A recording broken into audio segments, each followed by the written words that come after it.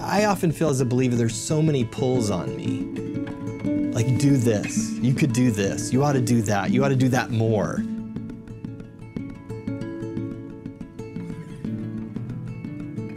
I felt in myself at times, and even in my students, there's so much need in the world and there's so little of me to go around that sometimes it's just you just throw your hands up and just go, man, I don't even know where to start. I think I'm just gonna go, you know, have dinner and watch Netflix. I'm just, it's sort of compassion burnout or something. So what's helped me is this idea of what do I feel my gifts are?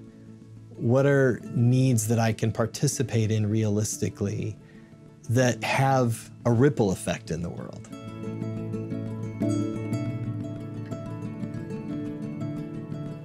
So for me right now, my calling is to train Christian psychologists, particularly Christian psychotherapists.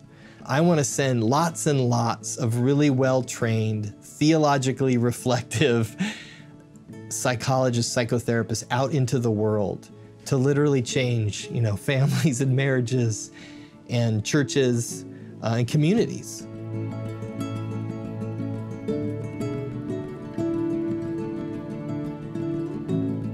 Think that's what God is calling me to do right now. Transforming minds, changing lives, you know, turning light bulbs on so that people can go and make a difference in the world.